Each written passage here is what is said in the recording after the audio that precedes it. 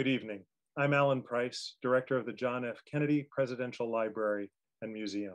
On behalf of all my library and foundation colleagues, I'm delighted to welcome all of you who are watching tonight's program online. To open, I humbly start with a land acknowledgement to recognize the indigenous tribes of the Pawtucket and Massachusetts peoples of the Wampanoag Tribal Confederation territories, who both past and present, and throughout many generations, have stewarded the land where the Kennedy Library is today. While the land acknowledgement is not enough, it is an important way to promote Indigenous visibility, and it serves as a reminder that we are on stolen and settled Indigenous land.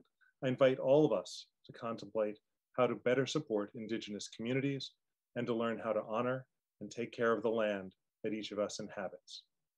I would also like to acknowledge the generous support of our underwriters of the Kennedy Library Forums, lead sponsors Bank of America, the Lowell Institute, and AT&T, and our media sponsors, the Boston Globe and WBUR. We look forward to a robust question and answer period this evening. You'll see full instructions on screen for submitting your questions via email or comments on our YouTube page during the program. We are so grateful to have this opportunity to explore recent demographic trends and their significance for future elections with our distinguished guests this evening. I'm now delighted to introduce tonight's speakers. I'm so pleased to extend a warm virtual welcome to the library to Kendra Davenport Cotton, Chief Operating Officer for the New Georgia Project.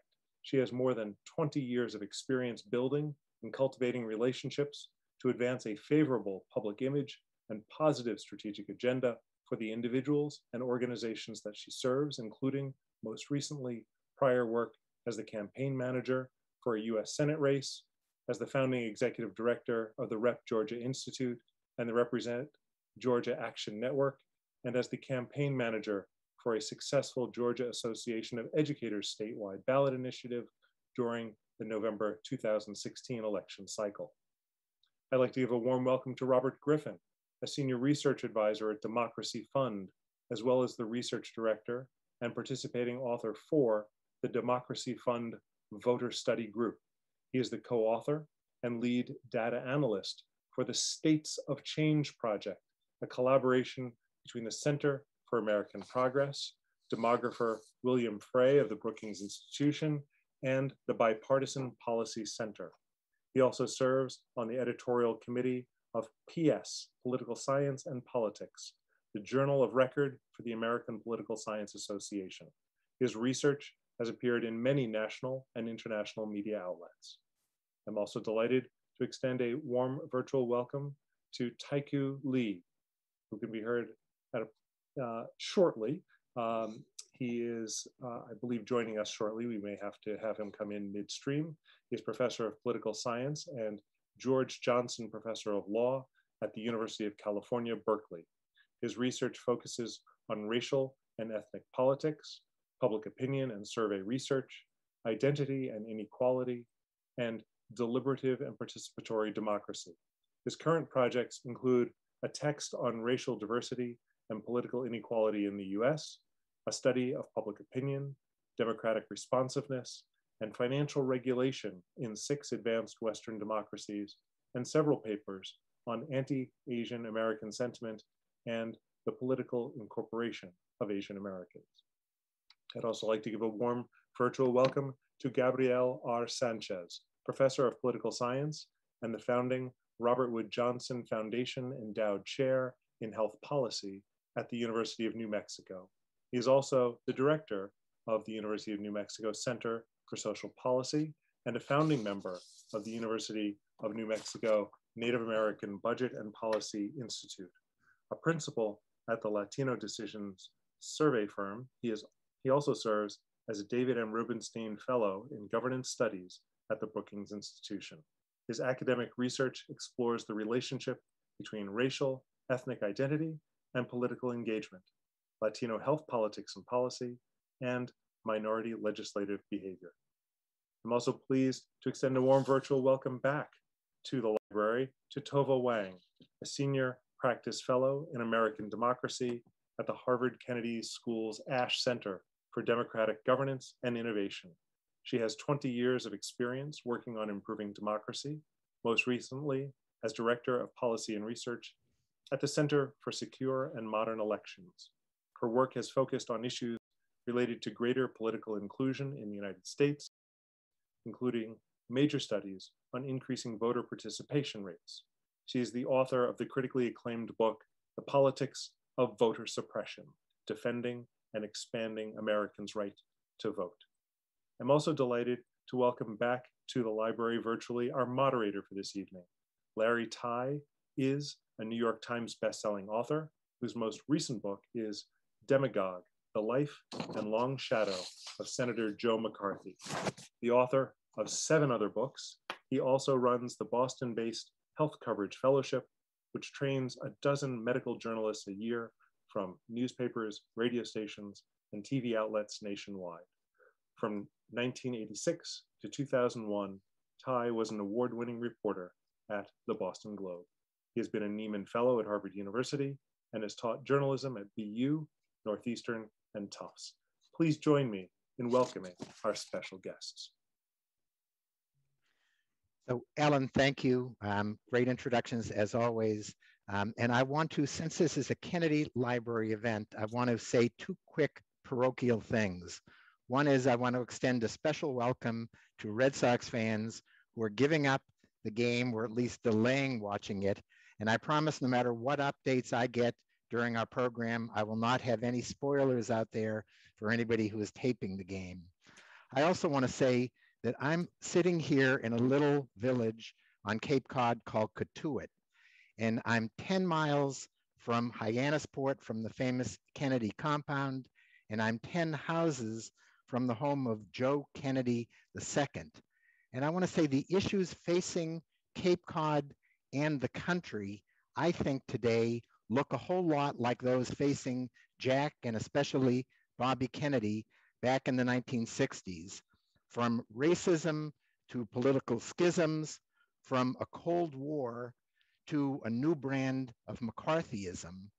But what has changed, I think, here and everywhere is the electorate in dramatic ways that Bobby Kennedy predicted half a century ago and hoped for, and that we're here to talk about tonight. And I can't imagine a better group to talk about these issues with. And what I'd like to do in starting is pose a question for each of our four current and hopefully a fifth panelist joining us soon. And that question is as follows. Today, as every day in newspapers and on cable news, we've had pundits giving us predictions on how our electorate is transforming and how that will shape next year's midterms and beyond. The problem with those predictions, of course, is that they keep transforming and shifting. But you five are the smartest of the experts, and I'd like you each to give us what you think is the single most important near term change you see happening in our electorate, starting with you, Kendra, um, if you would. Thank you so much. Um, for us here in Georgia, and most of my comments today, I just want to go ahead and preface are going to be Georgia specific because that's where I work. I would say the single most important thing that's going on um, in the electorate is not necessarily what we all hear, um, as you've already noted in the news about the browning of America. Georgia is browning very quickly as well, but it is um, where that browning is occurring. And so that, and that, that is causing us um, to change how we do our work in that, um, yes, you still have your metropolitan center of Atlanta in our state, and then also now in Savannah, in Macon, as those um, smaller regional hubs are growing as well. But it's the suburbs around Atlanta that are browning. And we are really having, that's a more sophisticated electorate. Um, they are more educated. Um, and it is changing the way we are governing at the state level, state and local level. Um, very quickly, I'll use Gwinnett County as an example. Gwinnett County is the largest and arguably the most diverse county in the state of Georgia. And up until this um, two cycles ago, um, 2018, it did not have one county commissioner of color, um, not one school board member of color. And that has all changed very rapidly, um, culminating in the 2020 election when now um, the, there was a partisan, a partisan flip completely um, of the county commission there. And I think that surprised a lot of the elder citizenry in that um, area. And so we're, we're parsing um, what we do, and um, but we're having to do that regionally with a focus on the suburbs. Really interesting, and we'll kind of come back a lot tonight, I think, to Georgia. Um, Robert? Uh, thanks, Larry, and thanks for having me. Um, you know, I think we'll be talking a lot tonight about demographic change. It's something that sort of I've spent the last couple of years studying myself. Um, but um, I'll key off of two words that you had in there, which was near term, right? So the key thing about demographic change is it's occurring. It's occurring in lots of places. Um, at this point in American history, it's almost continual, but it's actually very slow. Um, year year over year basis, uh, these tend to be kind of gradual changes. Even when you measure this distance between election cycles every four years, these are measured in like sort of single digit changes. So these are important, right? I think they're important, but they but if we're going to focus it on that near term, the thing that I'd actually want to focus on is how the electorate is rearranging itself attitudinally. Um, that there are attitudes that have come to become much more uh, prominent definers of our politics than they were in the past. And specifically over the last decade, and, and really things even increased with the 2020 election, uh, we've just seen racial attitudes, attitudes related to uh, immigration, um, and as well as just feelings about immigrants, attitudes about systemic uh, racism against African Americans in particular, just become defining features of our electorate. Um, that there was a way, even 10 years ago, this was not as much of a uh, wedge issue between the Democratic Party and the Republican Party as it is today. Um, so I, I, think just again, if we were to talk about a way in which the electorate is rearranging itself, in which the coalitions are slightly shifting, it's along these uh, more, you could almost think identity-based uh, dimensions of American politics that have just become more prominent uh, over the course of the last 10 years. And more divided and more angry? Um, I, I, I, think that can come with it for sure, right? You know, I, there's a way in which if you transition your politics at a relative rate from talking more or less about taxes to more or less about issues that are very near and dear to people's hearts that are core to their identity, I think there is a way in which our politics uh, can feel more visceral in that way because we are talking about things that are just closer to the heart. Hmm. Interesting. Um, Gabe. Yeah, appreciate the great question. Thanks to the Kennedy Library folks for putting this together and inviting me. Um, I think if we're talking about immediate, I say, in my view, redistricting is the most important and immediate issue, really where the demographic shifts over the last decade have the potential, at least, to directly influence political and policy outcomes for the next decade. Now, in theory, right, the changes in the electorate we are all talking about tonight uh, should lead to revised maps that take all those changes into account. However, and unfortunately, we all know that the redistricting process is often highly partisan, and whether population shifts are reflected in the newly comprised districts varies often by the partisanship of the state legislature and the governor of the states that we're talking about. I'll give you two quick examples of some pessimism I have about how the demographic shifts may not play out the way that they should. Um, one, I'm a New Mexican, always being able to talk about Texas. Any chance we get an opportunity to out here in New Mexico, we do so. Uh, folks might have seen this. MALDEF this week filed suit already over the redistricting maps in the state of Texas um, largely because despite like the national trends, Latinos comprising half of the population increase in the state of Texas uh, and getting two congressional, congressional districts out there in Texas, none of the new districts really advance uh, Latino voice or create majority Latino districts. And in fact, MALDEF is arguing, if anything, they're diluting the overall voting power of, of Latinos in the state of Texas. Nothing new, in the state of Texas, but again, a great example of how great population shifts have the potential to, to uh, influence outcomes, not necessarily if politics get involved. Second example, a little bit of a flip to that. Here in New Mexico, our Southern Congressional District, CD2, um, is one of the most competitive districts in the country over the last several election cycles and is, is the one GOP strength in the state. New maps created by our independent redistricting commissions just came out, and they advanced comprising a majority Latino district down south, which would be the first time in that district, despite the fact that it's got the greatest Latino concentration in a state that has the greatest number of Latinos by population in the nation. This would be the first time you'd have a majority Latino district down there. And because we have at least perceived a Democratic legislature, Democratic governor, there's perception that that might actually happen with that new district, and that would probably take that seat away from GOP control. So just giving you two examples of how politics, unfortunately, can get in the way of all these great population numbers that I'm going to spend the rest of the evening talking about. So can I, before we move on to Tova and that question, um, ask you, there were, every time we get through with the redistricting, our 10-year battle, uh, people at places like the Kennedy School come up with all kinds of great plans to take the politics out of there, out of redistricting process, and to have um, a more straightforward, nonpartisan process. Do you see anywhere in the country that anybody is moving to take the politics out of this current redistricting? We'll see at the end of this cycle. There's been a lot of great movement uh, over, over the last couple of years uh, across many states to open up access points, whether it be fully independent commissions that have full control over the maps or places like New Mexico and others where you've got an independent commission who makes recommendations, but the legislature still makes the decision. And in fact, I, am doing a lot of polling right now across southern states, trying to figure out how to engage more of the everyday public, particularly racial and ethnic minorities, in the process. And one of the big challenges is when we test this in messaging, a lot of Americans, particularly folks of color, their reaction is, what's the point of getting involved?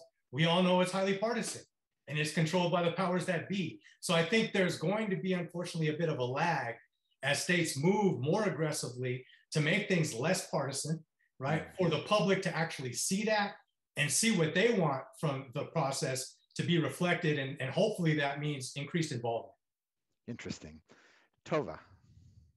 Hi, good evening, everybody. Um, I'm going to sort of add to what um, Professor Sanchez was talking about, that the context and the environment around the numbers and the changing numbers is really important.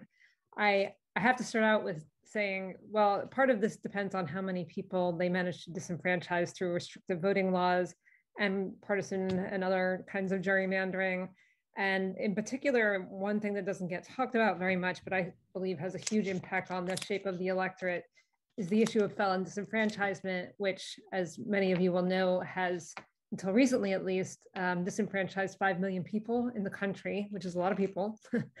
and those laws have started to change. Um, and in places like Florida and Amendment 4, they have changed. But of course, new obstacles are being thrown in the way. So there are, are tremendous efforts to reach out to returning citizens and engage them in elections and in civic engagement more broadly. And I think that that could be something that is not much talked about, but could come into play over the next few years if we if people can become more engaged and be, uh, be welcomed into civic civic society and elections. Um, speaking about youth, which is something that I have talked about, I have great faith in Gen Z. um, we saw tremendous turnout in 2018 and then historic turnout um, in, in 2020. And uh, one of the things that I've been looking at is the relationship between all of the youth activism. So you see climate justice activism, gun violence, March for Our Lives activism, the protests around George Floyd.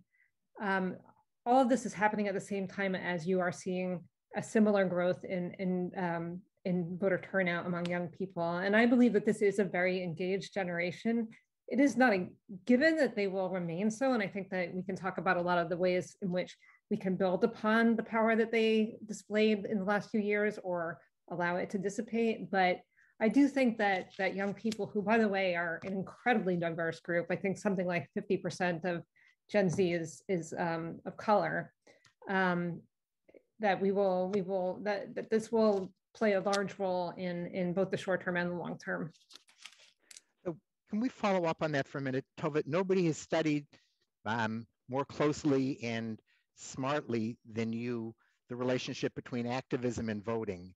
And going back again to the Kennedys, who are um, the uh, our sponsor tonight, in a sense, the um, there was a worry in the '60s that a lot of the youth activism, the youth would be turned off by the status quo controlling elections and say, geez, we want to be active, but voting isn't a way of getting anything done. You sound more optimistic that youth today are saying, we care about these things and we recognize that elections matter. Is that true, or are you seeing disenfranchised as well as enfranchised young people? So I, I think you said it actually um, the same way that we've been talking about it. in the research that we've been doing, which is that um, Gen Z, these young people are much more sophisticated than you think. And while there certainly is huge, um, you know, skepticism and not good feelings about the two party system and um, where the Democrats are, let alone the Republicans, um, and, and thinking about voting in some ways as an establishment thing to do. I think that the young people that we've talked to in the research I've done is is very pragmatic. They understand that it's it's the full suite of um, things that you need to do in order to affect change.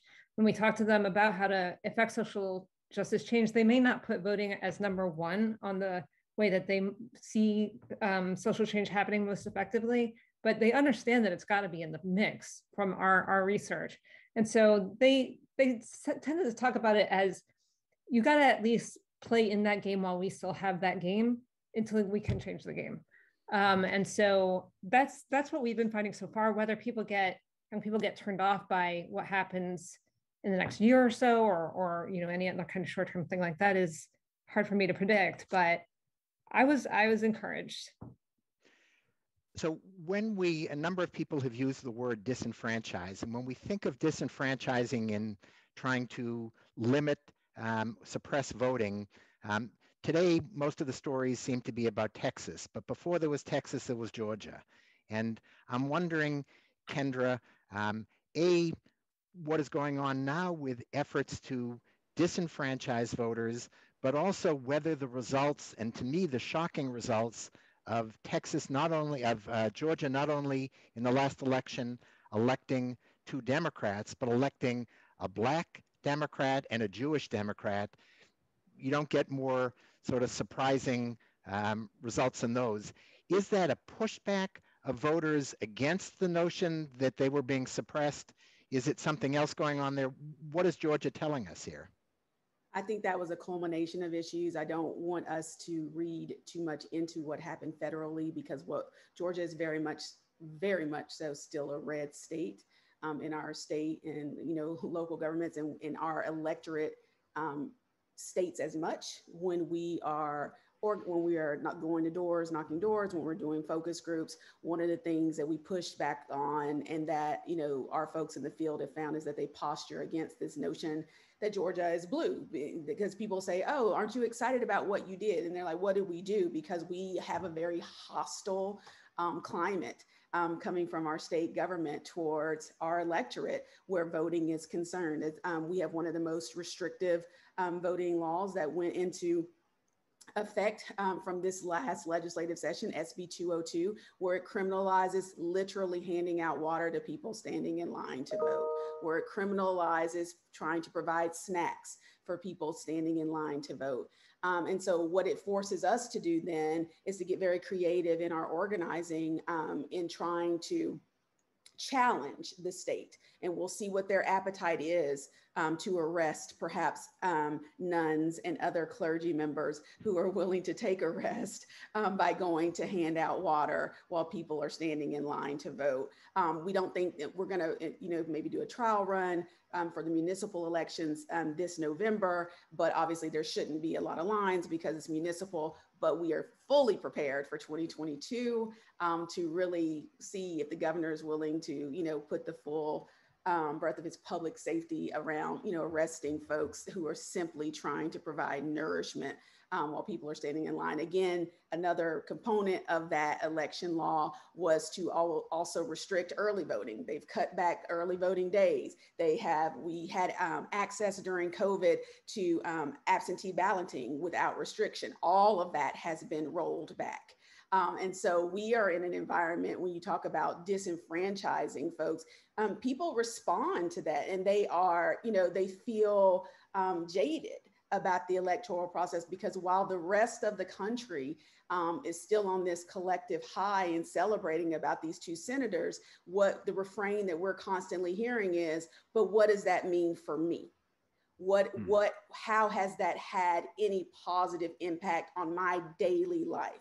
And then, it, you know, it does not help that the administration's um, policies have not trickled down, if you will. And it's not necessarily the administration's fault. Again, when you have a hostile state government environment, our folks um, for the most part, we still have people who have not been able to take advantage of the expanded unemployment benefits that the Biden administration um, codified because our state unemployment office um, has been very slow to the draw. They closed down all of their offices. People can't get access. They're not answering the phones. And so these are the kind of real world, real world issues that, you know, when someone says, well, I gave you the vote, you told me, you know, to go to the polls and that my life would change. And then now I'm either worse off than I was or the same.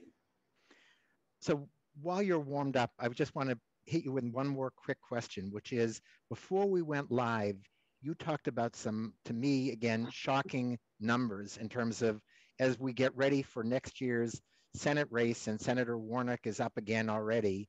Um, what the numbers are looking like there. Can you talk about some of those numbers? So we have some preliminary poll numbers and, and everything that we do with New Georgia Project, New Georgia Project Action Fund, though it is, you know, um, civic advocacy, it is all rooted in data. And so um, we had folks out in the field and we um, did some polls of the Black electorate in the state of Georgia. And what we've gotten back is um, very disheartening um, because it is showing a, softening of the electorate, if you will. And what I mean by that is that so before um, Biden was sitting at roughly about 80% approval among Black people in Georgia, that number has now declined to 60%. And, and then what we're also seeing that is that is having a, is essentially a weight on the rest of the ticket. We presume um, and hope that Stacey Abrams um, is in fact going to run for governor in 2022, and her numbers once were at 90% and have fallen off 10 points to 80%. And this is just among Black people. Black people make up roughly about 33 to 34% of the electorate in Georgia, and we need our folks to overperform, if you will, um, if we have any hopes of having a shot of um, winning any of these statewide races. I just want to impress upon folks, though we do have two Democratic senators, a Black senator and a Jewish Democratic senator, we do not have one statewide constitutional office in Democratic hands in Georgia. Wow. Robert, you talked about the um, uh, the increasing polarization um, on issues like race, and your research, I think, suggests it has to do with everything from Donald Trump to Black Lives Matter. I'm wondering whether you see um, hopeful signs in your research about ways that people might come together and we might really see some progress and, and some solutions on things. Yeah, and I, you know, I, I think, um, and, and, you're referencing a report that we have coming out tomorrow. Um, but you know, the the optimistic sign that I see, um, one of the things I talked about was the fact that we're seeing polarization between the parties. But polarization always isn't a bad thing, right? If you have two political parties where um, the people in those parties both kind of have views that are not very positive or not very good, that's not a polarized environment, but it's one where you know the electorate is kind of unified behind some attitudes that aren't great. So it, it was not even that long ago the case that the difference between, let's say, Democrats and Republicans on basic questions about systemic racism against African Americans, they looked different, but they didn't actually look that different from one another. Um, so what we've seen over the last, again, decade has, I think, been a rather positive story, which is that the Democratic Party has become much more liberal on some of these basic questions that political scientists have been asking for decades um, that spe specifically deal uh, with attitudes about systemic racism towards African Americans. There's a change in these high level attitudes. So that's a positive story, I think, even though it's causing polarization, even though it's becoming a more defining characteristic of the American electorate. I think a negative aspect of that story, just to sort of give a caveat, is that we're not seeing those attitudes sort of trickle downward into changes in people's views about policy right? So we are intermittently kind of seeing transitions in that sort of high level understanding of the forces that are operating in American politics and the actual nuts and bolts support for policies that might uh, ultimately change those situations, right? So what percentage of Americans uh, agree or disagree with reparations? What percent of Americans actually want police reform? What percent of Americans uh, support affirmative action? Again, on some of these, we have seen shifts over time, but it doesn't translate at nearly the level of some of these higher level attitudes. So again, I, I just think you know the, the story that we try to tell there um, is one that's that's overall, I think, in some ways optimistic. Right, we are seeing trends that are quite positive, um, but this is not sort of a uh, a completely optimistic story in the sense that these things haven't translated fully. And I think that's reflected by our politics and the fact that we haven't seen uh, movement on some of these big policy issues, even though there has supposedly been these high level shifts in attitudes. So, Gabe, the um, there's no issue that I can think of, no group where pundits and political reporting colleagues of mine got things more wrong than with Latino voters. Um, and there's also nobody who understands that segment of the electorate better than you. I'm wondering, was it simplistic when everybody wrote that in a state like Texas, Latino voters would turn it blue? And is there a lesson in terms of, um, of understanding a more nuanced take on the Latino electorate? Is there a lesson for Democrats and Republicans and the future of national politics? Yeah, great, great question. Uh, I think I, I, could probably spend an hour and a half talking about this one. So I'll, I'll try to give you uh, the, the small version on this. Uh, but my take, and I think I've written about this in a couple of places. Brookings, for example, I put out uh, a blog post laying out my, my thesis of what explained the Latino vote in 2020. And there's been a lot of speculation uh, about whether or not Latinos have moved significantly to the Republican Party, whether or not that's going to continue. My take on it is if you look deeply, uh, like I have in, in the data over the last several election cycles, what really explained an increase in Latino Democratic vote share from 08, uh, 12, 16 was really an increase in underlying Latino racial and ethnic identity, uh, what us political scientists refer to as linked fate or group consciousness. And in fact, the data suggests that that became a more powerful explanation of Latino voting power than partisanship. It actually became more central to how Latinos were viewing the political world. And that was all driven by Latinos' experiences with discrimination and perceiving that they were living in a hostile environment that was anti-immigrant and anti-Latino, right? So you had that context driving Latino voting trends where you saw high numbers of Latinos, almost, you know, arguments of monolithic uh, voting trends among Latinos. And then 2020 happened. And everybody says, oh, wait, we had it all wrong. My take is remember, during 2020, not because candidate Trump wanted to strategically, but because COVID overwhelmed the overall space to talk about anything else, there was no anti immigrant discussion.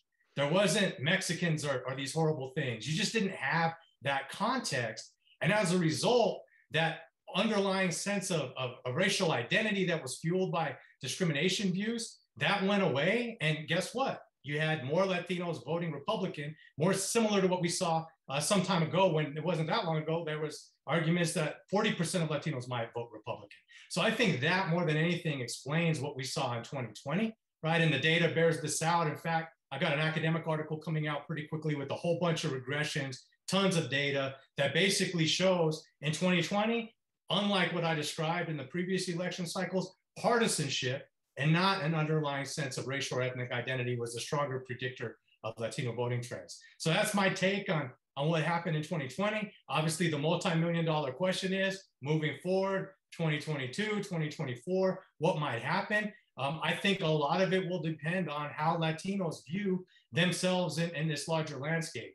And some data recently that I've been collecting suggests that Latinos actually perceived, again, that they're a population who's been discriminated against. And in fact, if we ask what's the number one to number five issues overall that the federal government should address, for the first time in 2020 and it's continued, discrimination against Latinos is among that top five, which, which I think if, if, you're, if you're trying to, to peg down the math might suggest we might see a, a swing slightly back towards a greater uh, Democratic vote share among Latinos.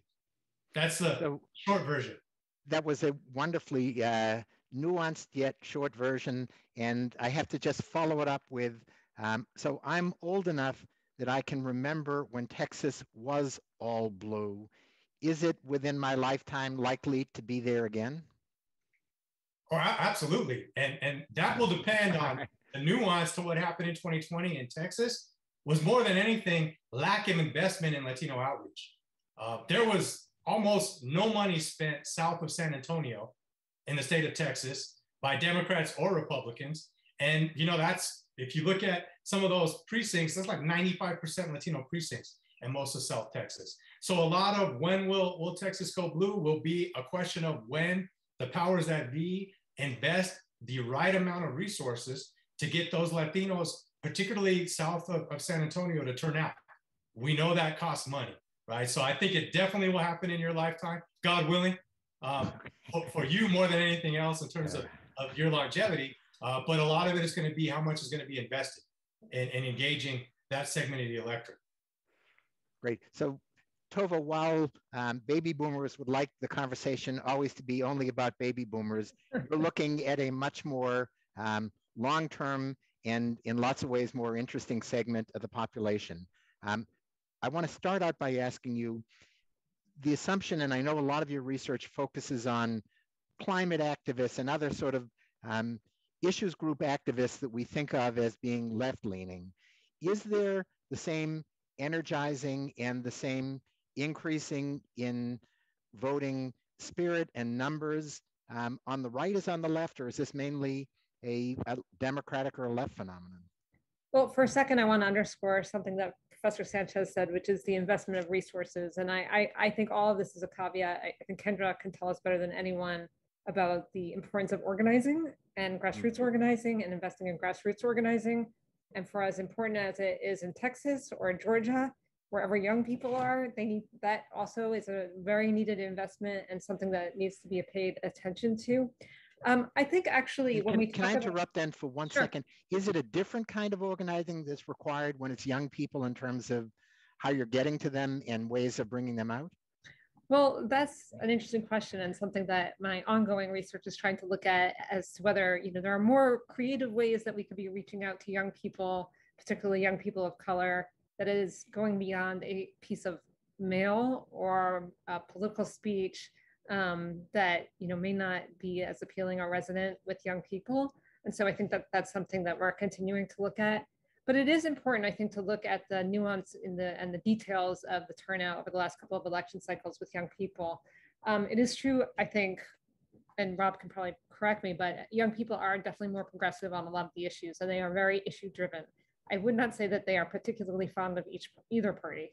Um, but at the same time, um, it's not like every young person voted for Biden at all. Um, uh, and in fact, um, the the gap um, between white young people and young people of color and the gender gap is also pretty wide. And so uh, Biden didn't win by that much among um, young white people, but he he took a huge amount of the black Latinx, and Asian American uh, youth vote. And so you have to sort of dig down into that to really get at it. But I think to the extent that they are driven by issues and not by parties particularly, and again, all this, you know, especially with young people, subject to change, um, that that they are more progressive. And one thing that I was thinking about earlier with something Rob was saying is that um, with Democrats becoming more progressive on race issues than ever before, whether it translates into um, policy or not.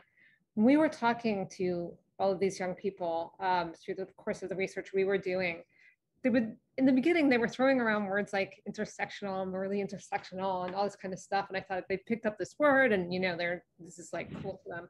And I very quickly learned not at all. Actually, to the contrary, I was the one that was kind of, you know, if anything, was being glib about it because they that's they live that. That's not some theoretical thing to them. They live intersectional, this, you know, all, all the issues around race and sexual orientation and gender and all these kinds of things have a very different role in their lives, I think, than than for us. Um, and so, um, so around all of that, I think you know we need to pay also attention when we're looking at that that piece of the electorate or the piece of um, you know our, our society. So, at the risk of being um, continuing to be parochial, um, sitting here in Massachusetts, we just had an election um, that pitted a 200-year-old um, incumbent Democratic senator against a 10-year-old challenger congressman named Kennedy. And shockingly, the 200-year-old guy won and won, it seemed like in every segment of the population, and, including young people. Is there anything that that election um, says other than maybe that a Kennedy could actually lose in Massachusetts? What does it tell us about young people and their willingness to go for candidates who aren't necessarily um, young like them? Yeah, I mean, I think that's right. Um, Sunrise, in particular, um, did a lot of work around that election. They did a lot of phone banking. They endorsed Markey because he had endorsed the Green New Deal. Um, and uh, they can be credited, I think, legitimately with um, at least some proportion of the margin of victory. Um, and it just does also show their sophistication and pragmatism when it comes to politics. Um, they they understood who was the they, they weren't looking at it just as one factor, but who was really standing with them. And and I, you know, it's interesting. It'll be interesting to see. I I hope, and I'm beginning to see. I I think um, more young people as they do become perhaps more cynical about people in elected office running for office themselves. And so seeing more and more very young people running for office, and that would be even even more encouraging to see. So Kendra, you were shaking your head when we were talking about young people. Clearly, a big factor in Georgia. Yeah, huge factor. But um, really, I wanted to speak to Tova's comments. I know she's going to be researching this, but yes, that you, I can answer unequivocally that you do have to um, organize differently around them. Um, the messaging is completely different um, with young folks. I, we um, take um, a lot of care to when we target that 18 really to 30 group. We had, uh, and I'll just say this anecdotally, we had a um, video, and some of you might have seen it. If not, you can Google it. It's not exactly um, family friendly, but it was called Booties to the Polls. And it was this thing that we put out there, and we used strippers, you know, to kind of get people excited about the election because, I mean, strippers vote, and people, you know, like young folks like strippers. And so we, you know, did that. But there was a messaging um, behind it. And we got a lot of heat from um, the more, you know, kind of middle age, my age, you know, I'm 44, electorate, we call them the aunties. Um, they did not like it. They did not like um, that, that we were using that tactic if you will, and putting money behind it. And we use a lot of young influencers as well. I mean, I think the key is you know, um, and Gabriel can speak to this. I'm a former political scientist myself. Um, a lot of people find it boring, man. Like they don't want, they don't even want to take poli sci classes. It's, you know, it's dry. You got an old white dude up there talking. Like you really got to love this thing in order to, you know, really want to study it. And then civics education, you know, K 12 is lacking um, for lack of a better term. And so I think, you know, it's just kind of designed for people to check out and to dismiss it and say that's for other folks. And so what we try to do is make it exciting and say, you know, knowing we have to connect the dots. We have to show them, you know, if you get from, you know, you don't have to beg for policy outcomes when you vote in people who are already good on your policies.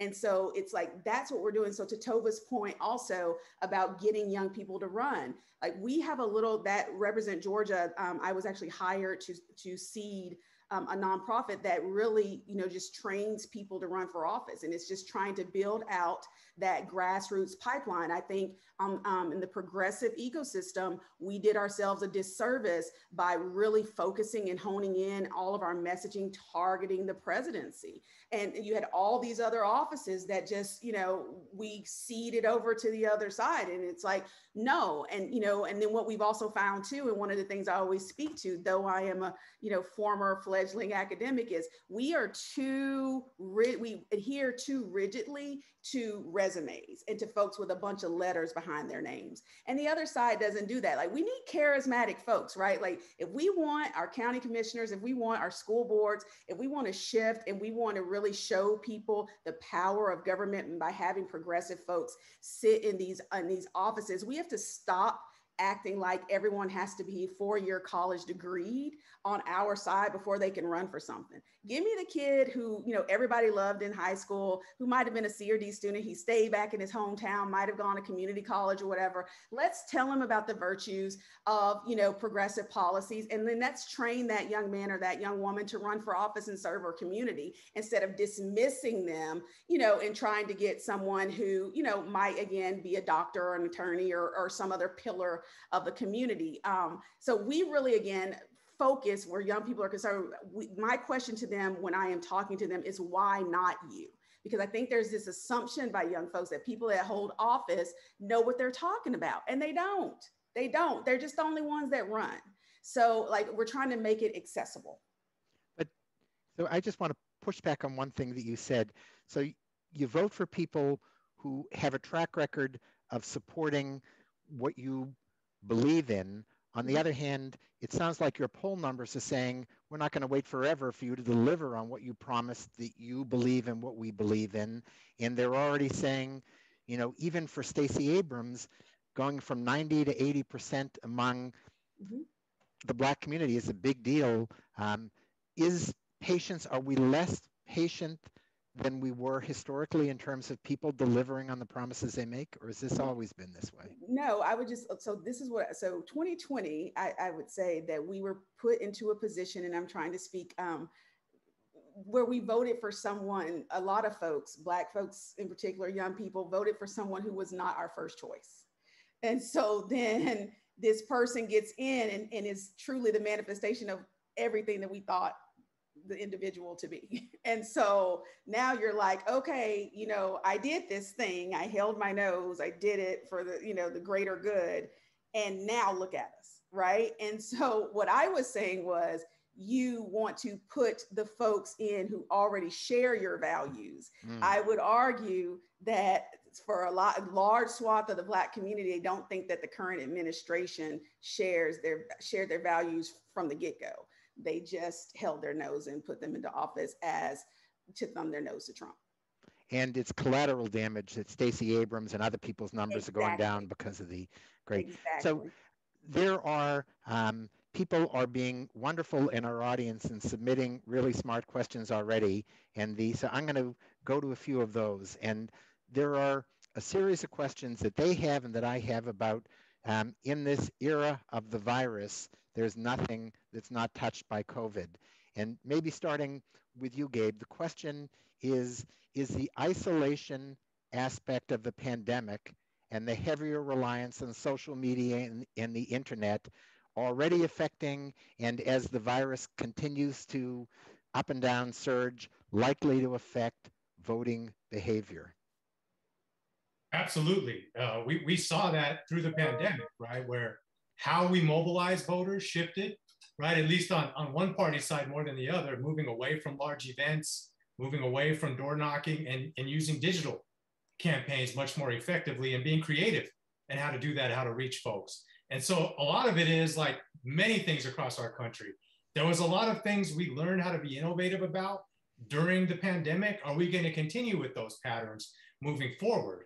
And probably the most institutional factor that will impact what voting trends look like in the next midterm election, and particularly the next presidential, is states lax a lot of protocols to make voting much more accessible for everybody, right? Most states uh, made same day registration temporary, uh, drop boxes, uh, use of, of mail based voting, all of those things to decrease the costs associated with voting were done. And guess what happened? Turnout increased, particularly among young people right? Whenever you decrease the cost associated with voting, political scientists will tell you you're always going to see an increase in civic engagement. So, unfortunately, when many of us thought, okay, this worked, we saw greater turnout, we'll see states continue this process moving forward. Obviously, we've seen at the federal level and across states, this is highly partisan, right? Some states are moving aggressively to make voting easier, others are running in 180 degrees in the other direction, right? So, how folks engage with the voting process, um, how they get their political information. Obviously, the pandemic and the isolation associated with that is going to influence how people moving forward think about the political realm. Biggest danger I see, and this was not created by the pandemic, we were seeing trends in the data before this, is the high level of misinformation and consequently lack of trust in mainstream media across the electorate, right? And that's been significant across just about all swaths of the American population. So moving forward, as we hopefully start to see some trends moving away from the pandemic, will trust in political institutions, mainstream media, each other? Will those things return to where they were a few years ago, or are we going to continue to see a downward trend? And the reason why that's an important question in the context of voting, trust across all those different avenues, guess what? Predicts voter turnout and predicts voting behavior. So I think that's one big scary monster uh, that I don't see moving in a positive direction anytime soon. So, Robert, can I follow up on this COVID question with you? Um, naively, as a longtime health reporter, I would have thought that COVID would have been an issue that brought the electorate together, that everybody is worried about dying or their parents or their kids getting sick from COVID. And instead, it seems to be almost as characteristic as the issue of race in terms of the kind of um, disunity that you are seeing in your studies. Have you looked at COVID and where do you think this would play out in the kinds of things that you look at? Yeah, and I, you know, I think it's important to contextualize um, this in, in the sense that you know I think sometimes if you think about replaying history like a hundred times or something like that, how often would certain kinds of dimensions of our politics recreate themselves? Now, I, I, tend to be in the camp where I do tend to think that things that are core to our, our identity, um, issues that are close to what it means to be American, immigration, attitudes toward immigrants, attitudes towards Muslim Americans, uh, attitudes about systemic racism in the United States, that if you were to replay, you know, let's say the last 20 years of American history 100 times, you would actually see those pop out again and again. COVID 19 actually, I think, falls much more into the category of kind of an oddball one, right? I, I, think there's every reason in some ways to believe that absent a President Trump, you actually might have seen a lot more unity around the issue of COVID 19 than we saw. I, this is just tends to be one of those things where um, the forces that are in operation in our society are kind of like hurricane partisanship, right? And even things that aren't really charged with it can get caught up in those currents if if we choose to inject sort of politics into them. But I think this is one of those cases. Just is my own personal belief is just that COVID nineteen could be far less polarized if it weren't essentially for the president that we had at the time. That I think a a President Romney or a President Jeb Bush or somebody somebody like that probably would have taken a, a much more reasonable set of stances. Uh, you probably would have seen partisanship sort of at play there to kind of bring people together a little bit more, um, rather than what we did see play out and what we are seeing play out now, which is um, that you know your vote share right in 2020 is highly predictive of how many cases you were having for a period there. Um, you know, just even like a month ago. Um, so, so again, I, I think this is one of those things that has become polarized, but this wasn't set in stone. It didn't have to kind of be this way, unlike other aspects of our politics where it probably is a little more locked in. Yeah, so at the risk of being partisan, um, I would say that my dog catcher in Cotuit, Massachusetts, would have taken a more reasonable stand and been less polarizing than the president was on this. Um, so I want to, um, Tova, I want to read you the next question that was submitted, and the um, and this may not be your thing, but you're a smart analyst, and maybe it maybe you'll have an answer anyway.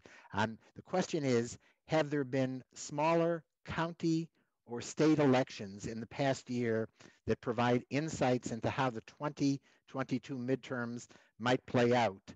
And then the questioner asked, naturally, with the understanding that a lot can happen between now and the midterms anything, we're always looking for sentinel events that sort of tell us where we're going.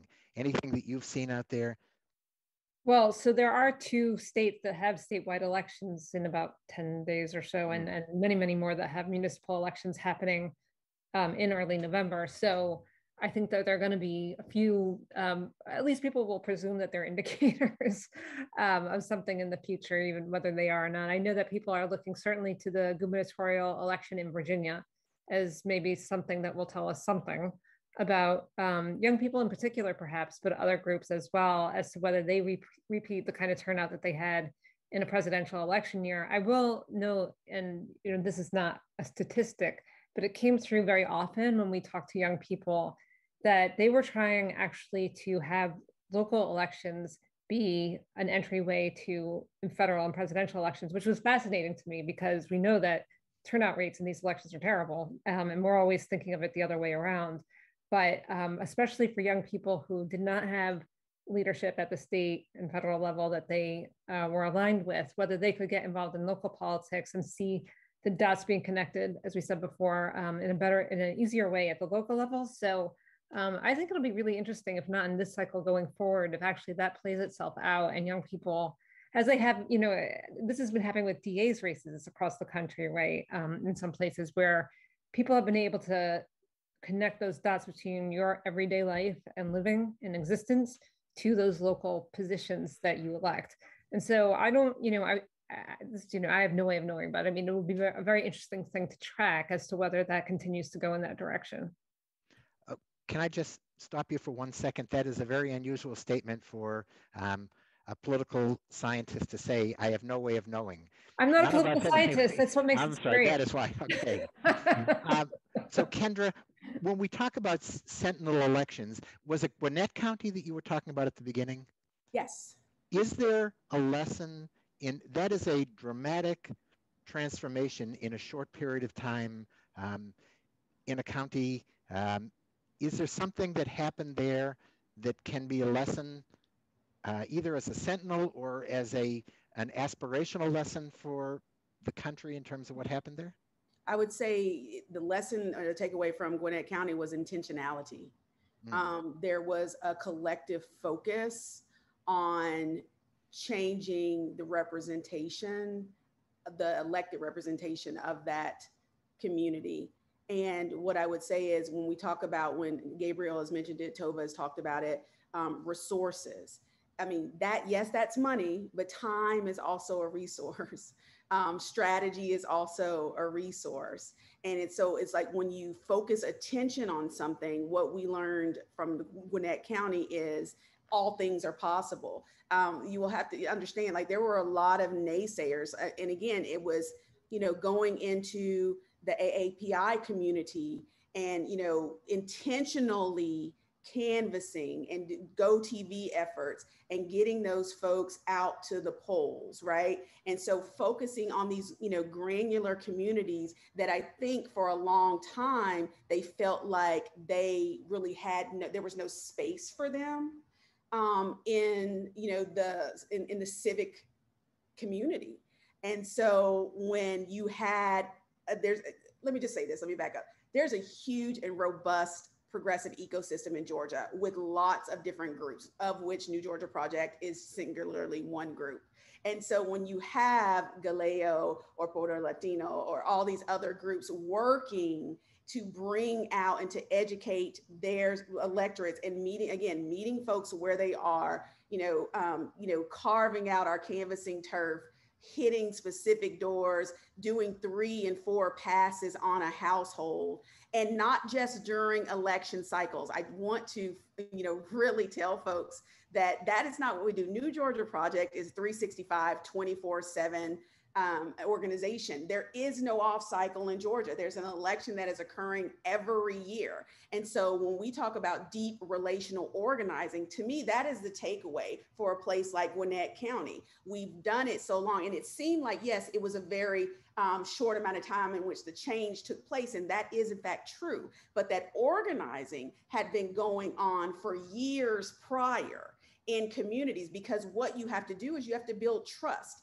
people get so sick of the transactional nature of election cycles. You show up at my stinking church or my synagogue or my mosque two months out from an election say hey give me your vote and then i never hear from you again until it's time for you to run again and so what you have in the grassroots movement is you have people that are carrying the water of a progressive message in the community building trust but what is happening is when we don't get policy outcomes delivered, it is undermining our work and making it more difficult. Couple that with redistricting and other things that uh, you know dampen um, actual representation by you know dumping all progressive in, into you know a small swath of a community and uh, these weird little maps that are drawn. You know the electorate looks and say this fight is fixed and I'm not going to participate.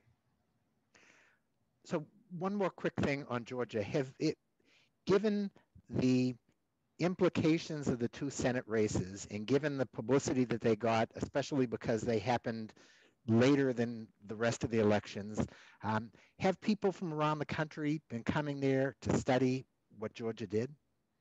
Um, I, yes, I would say there are people that are coming to study or who have come to study. There's been lots of articles, lots of requests um, from folks in our organization to contribute um, to interviews. Um, I, I, would say the spotlight is still on Georgia. I think people, you know, thought we caught lightning in a, you know, in a bottle, and you know, it was a one-time occurrence. I don't think um, that is in fact the case. Um, we had a lot of people come out, um, huge monetary investments um, flowing into the state, and I think what people they're trying to replicate what we did. we're getting a lot um, of folks in other, particularly southern states, but also outside of the South, um, other groups that are germinating and popping up, um, and then calling on us to say, hey, you know, what is it that you guys did? You know, I think we could, you know, have similar results in Missouri, or I think we could have similar results in North Carolina.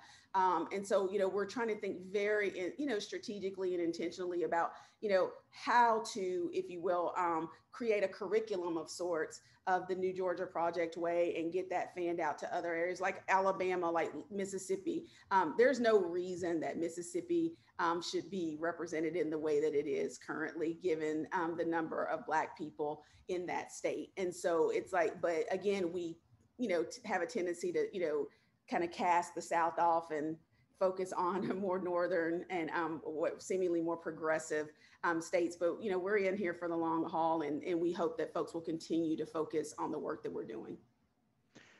So Gabriel, the um, I hate to keep making you the expert on Texas as well as lots of other things, but the um, this is seems like a question best directed to you. And the question is, how long can Republicans stave the new voters going to the polls with their overt efforts to ballot access?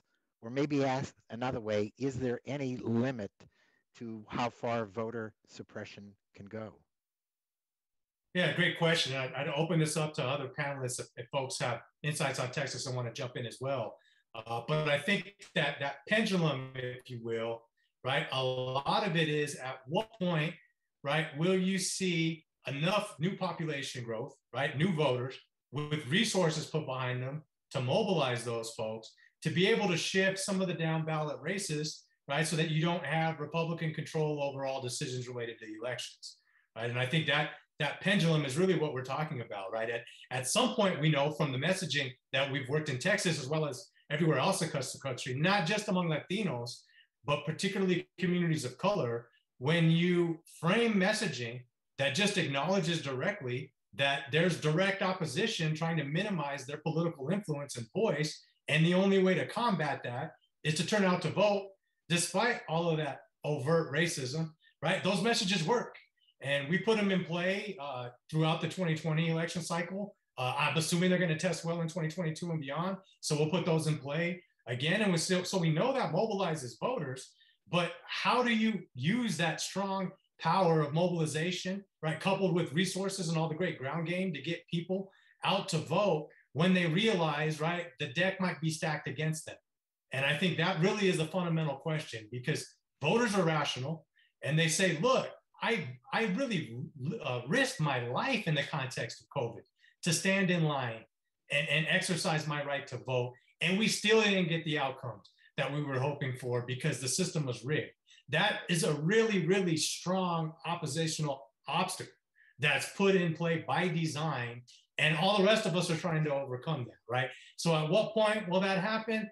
That's very difficult. Um, I will say that I think the end of the day, it will be dependent on two factors.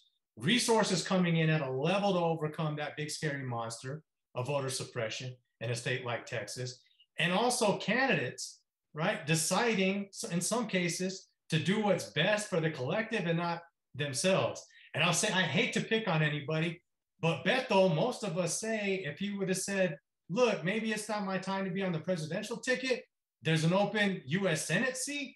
If I were to happen to have run for that open US Senate seat, my opinion is we would have saw a different overall statewide outcome in the state of Texas. Hmm. It's really interesting.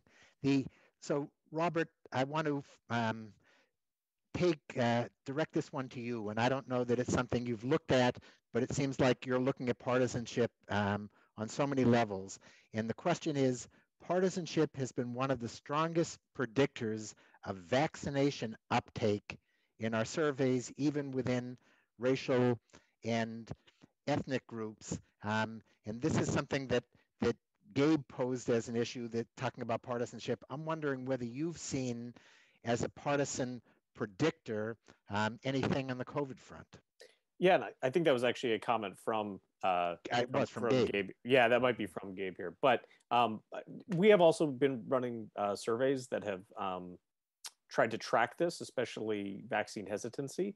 And, and again, you know, I think the geographic data in some ways doesn't lie. and Just that vaccine uptake, the number of cases we're seeing, um, there's a point here. Now, this is sort of an interesting twofer comment, but if you take the county level um, election results from the year 2000 and you compare them to COVID, you know, like like I think the 2020 election results, it's a less sort of powerful predictor of the vaccine sort of rates than is like the most recent election. So like even with vaccination rates, the number of cases that we're having, this is for a time period there, this is really becoming quite a quite a partisan issue. Again, there's a rate at which people are just sort of having uptake on these things that that sort of overcoming these things at some level, but there's still a, a rather stark partisan divide.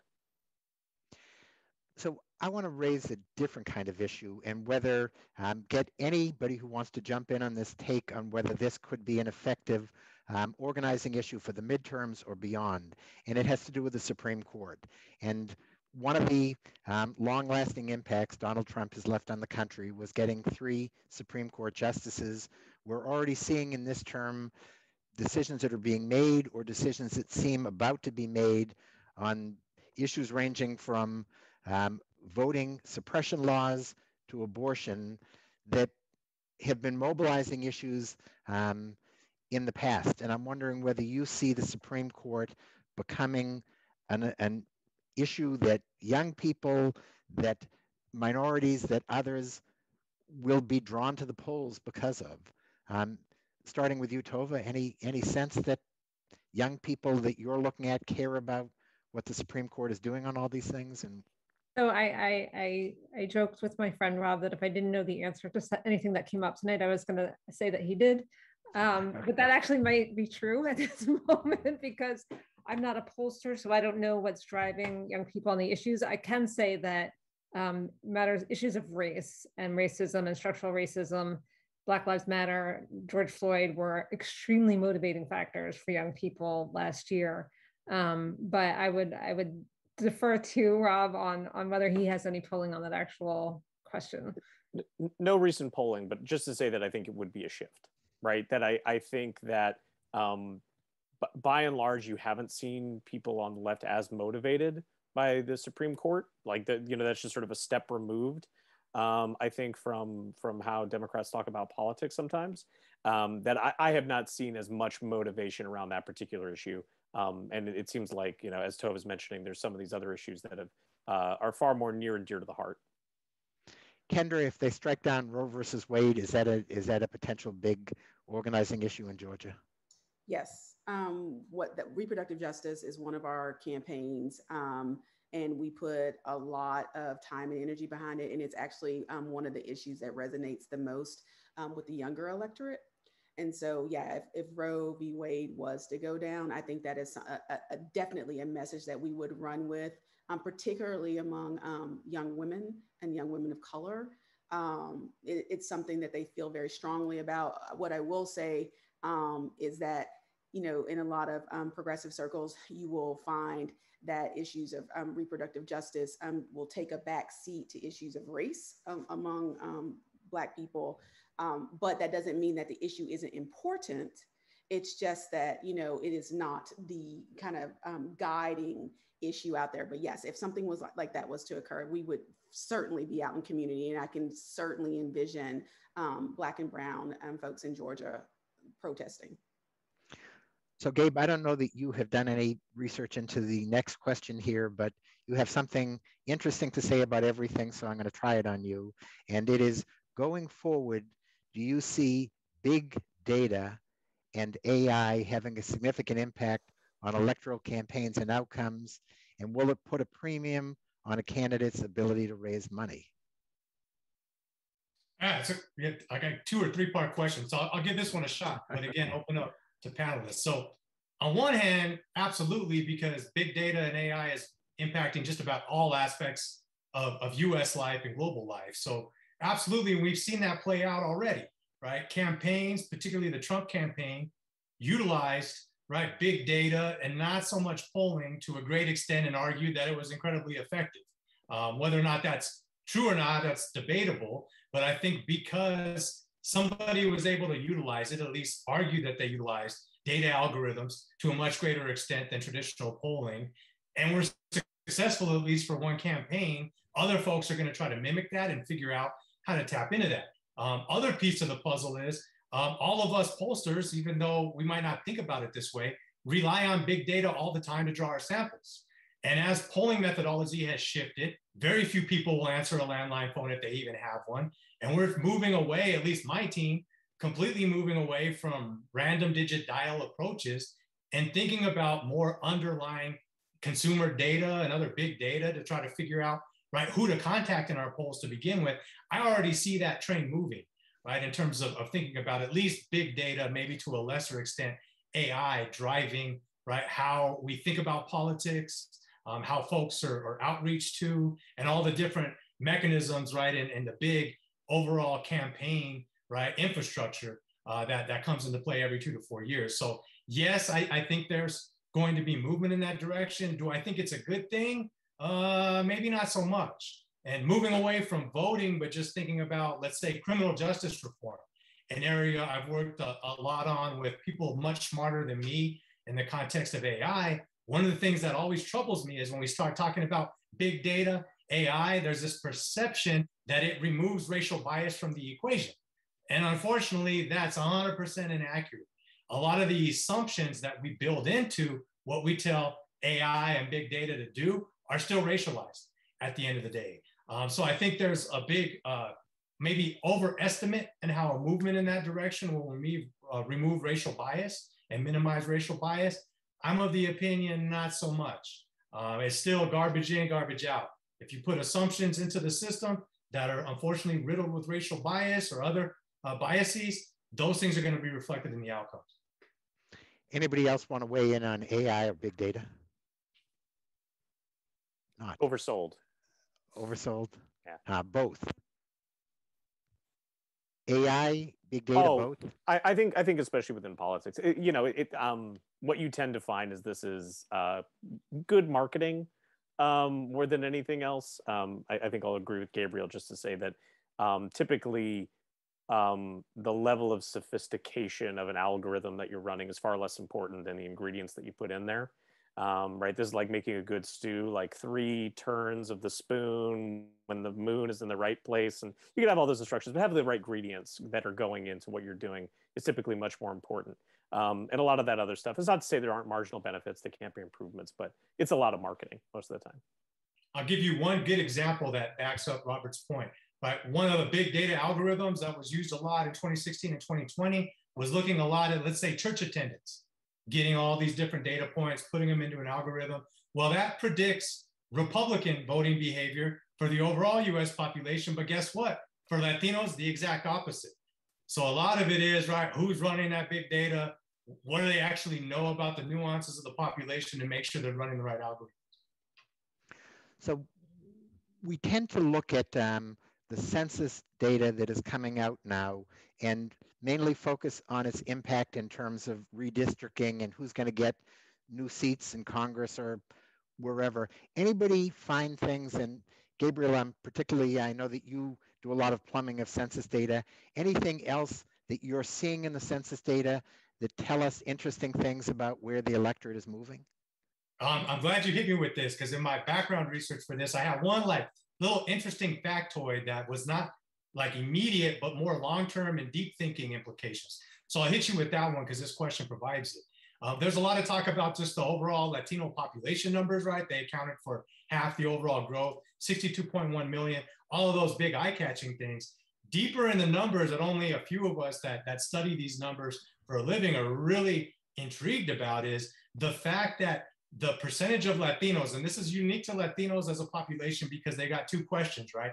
Um, are you Latino in terms of your ethnicity? And then the follow up is, what race do you identify as? One of the biggest eye catching things for me in the census numbers is the drastic drop in the number of Latinos or Hispanics who identified as white racially. Dropped from almost 27 million in 2010 to 12.6 million in 2020. Big number. The reason why that's important myself, Pew, a number of other folks staring at the last census numbers made a lot to do with the fact that if a large numbers of Latinos identified as white racially, what does that mean about the browning of America? Really, and what tipping point would we see in terms of whites no longer being the dominant population, et cetera? A lot of conversation about that. these new census numbers suggest a whole different pattern, and particularly among young people who are not identifying themselves as white racially uh, the way that they were in 2010 and, and, and prior years to that. I think that's a really interesting question. We're only starting to uncover why. Um, one of the more interesting theories, and, and that's one that I probably would support, is maybe it's the fact that leading up to the, the 2020 census, you had large forces, right, trying to undercut Latinos' participation in the census, lots of anti Latino discrimination at play across the country, maybe a large segment of Latinos who maybe in years past thought of themselves as white racially, realized that might not be a decision they actually have the power to make. And if society doesn't treat them as Latino, a, a concept many of us in social sciences write about called ascribed race, I might think about myself as white, but if society doesn't accept me that way, maybe they're moving away from that identification into other race, which saw a huge jump among Latinos. So a big one to unpack, but I'm glad you asked me that question because I got a chance to reference that that I found in my background research that I thought was really interesting. Can I just take this as an opportunity for a second because uh, it's um, it's really unfortunate that Professor Taeku Lee couldn't be with us because it is really important to acknowledge um, the role that Asian Americans are playing in the changing electorate and the changing uh, face of the country, and that they are the largest, the, the fastest growing um, minority group in in the country, I believe, and there were there they also had um, a vote increase last year, especially in particular places. I know um, Kendra in Georgia, the APIA community was extremely active and made a huge difference. Um, and that also for the first time that um, like the Latinx community is at long last not being treated as quite so monolithic Asian American as well. And so that's just I just want to put that on the table since Taeku was not uh, able to be here, but I just, it's an important point to also um, put into the mix. So Robert, you were about to jump in on something. If it's okay. Um, sure. Uh, just a just a plus one on uh, what Professor Sanchez was pointing out. I think there's a there's a little nuance here, and again, I think it's it's things that we're still figuring out ourselves. There was a change in methodology in terms of how census actually classified people between these two censuses.